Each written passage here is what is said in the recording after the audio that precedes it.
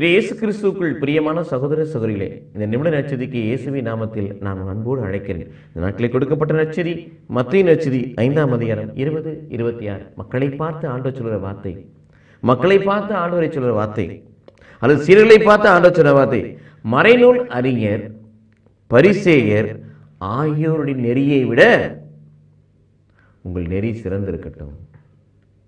அவர் திருச்சட்டத்தை நியாயப்பெருமானத்தை ஓய்வு நாளை சடங்கு முறையை ஆச்சாரங்களை மையப்படுத்தி வாழ்கிறார்கள். அவர்கள் அதை கட்டிப்பிடித்துக் கொண்டிருக்கிறார்கள். அவைகள் அவர்களை கட்டிப்பிடித்துக் கொண்டிருக்கிறது. கட்டுண்டோர்களாக இருக்கார்கள். நீங்கள் அப்படி அல்ல.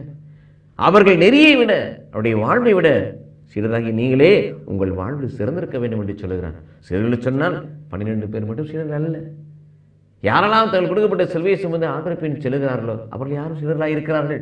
யாரெல்லாம் கனி கொடுக்கிற மனிதனாக இருக்கிறார்களோ அவர்கள் யாரும் சிலர்களாக இருக்கிறார்கள். யாரெல்லாம் அவனுடைய வார்த்தையை கேட்டு வாழ்கிறார்களோ அவர்கள் யாரும் சிலர்களாக இருக்கிறார்கள். ஆகவே அன்று அவர்கள் சொன்ன வார்த்தையை இன்று நமக்கு சொல்லுகிற கடவுளாய் நம் மத்தியிலே கடந்து வந்திருக்கிறார். பிரியமானவர்களே ஆம் நாம் என்ன செய்ய வேண்டும்?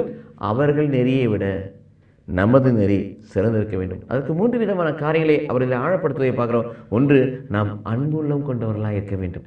கடவுளை அன்பு செய்ய வேண்டும் நம்மை அன்பு செய்ய வேண்டும் நம்மை போல பிறரை அன்பு செய்ய வேண்டும். நம் வாழ்க்கையின் ஒவ்வொரு செயலிலும் தேவ அன்பை இறை அன்பை பிறர் அன்பை வெளிப்படுத்தக்கூடிய பிள்ளைகளாக இருக்க வேண்டும்.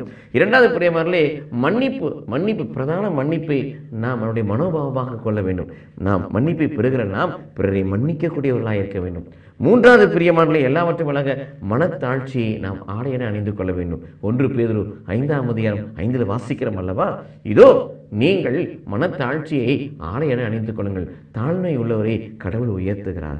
தாழ்த்துவோரை கடவுள் உயர்த்துகிறார் தங்கள் உயர்த்துவோரை கடவுள் தாழ்த்துகிறார் என்று எழுதப்பட்டது அல்லவா? அதுபோல நாம் கடவுளுக்கு முன்பதாக நம்மை தாழ்த்துகின்ற பொழுது கடவுள் நம்மை உயர்த்துவார். ஆக கடவுள் எதிர்பார்க்க ஒரு அன்பு கடவுள் எதிர்பார்க்க ஒரு மன்னிப்பு கடவுள் எதிர்பார்க்க ஒரு மனத்தாட்சி உங்களுக்குள்ளும் எனக்குள்ளும் இருக்கும் என்று சொன்னால் நிச்சயமாக பரிசெயர் சதுசெயரை விட நமது நெறி சிறந்த நெறியாக இருக்கும். கடவுளுடைய நாமம் மகிமடையும். அப்படி கடவுளுடைய நாமம் மகிமடியும்படியாக நம்முடைய வாழ்வை நம்முடைய கரங்களிலே ஒப்புக் கொடுப்போம் கடவுள் நம்மை ஆசீர்வதிப்பாராக. ஆமீன்.